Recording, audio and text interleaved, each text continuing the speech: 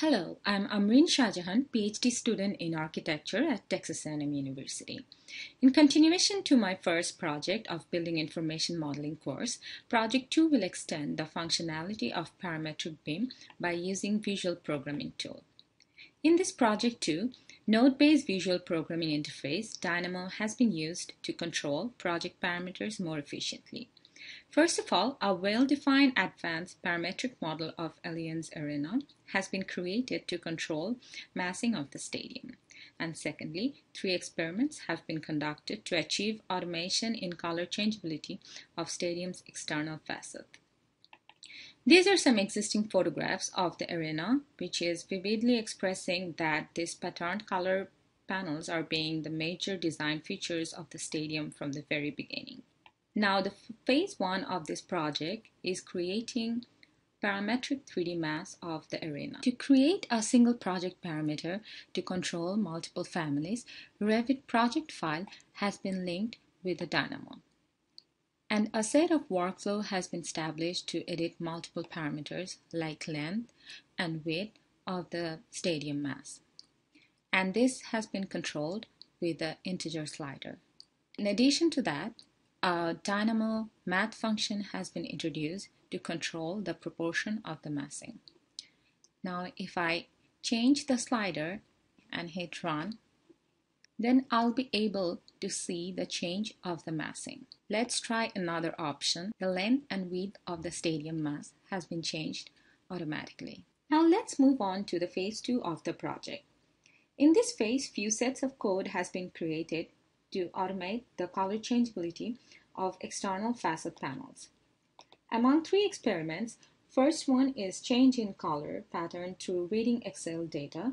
Secondly, changing color in checkerboard pattern surface. And thirdly, changing in exterior surface color following solar orientation. This set of code has been created for two purposes. The left part of the code is to control the depth of each curtain panel component.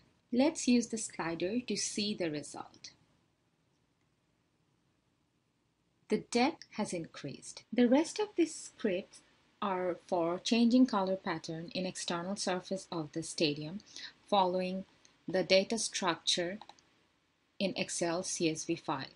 If we see in detail, there are eight curtain panels which has been linked with the Dynamo and a separate data structure has been created in Dynamo file. And finally, the Excel CSV file will override the existing material of each panel by creating a pattern surface.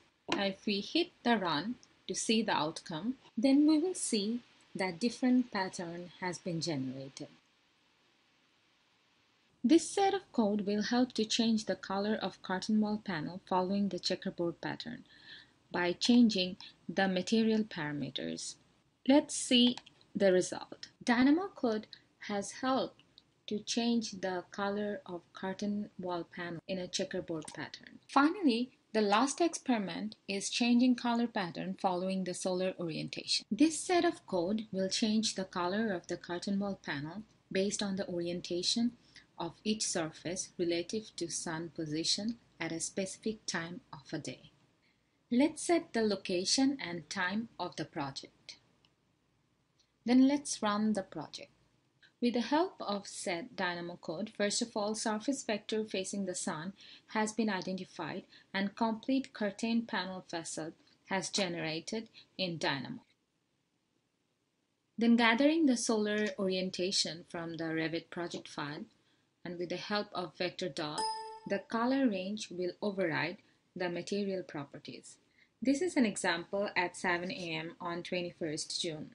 In this example, panels which are normal to the sun will be in red color and gradually turn in green based on the orientation. For instance, at June, June 21st at 7 a.m., the eastern side turns in red, whereas the western side panels are in green color. Now, if I change the sun position, the color of the curtain panel will change respectively.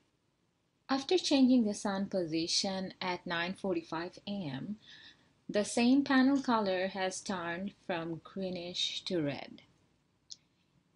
If I move the sun towards the west, then the western green facade will turn into red as sun position has changed.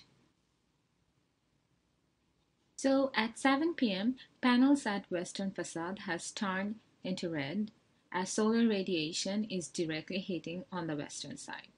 On the other hand, eastern panels which were red has turned into green as sun position has changed.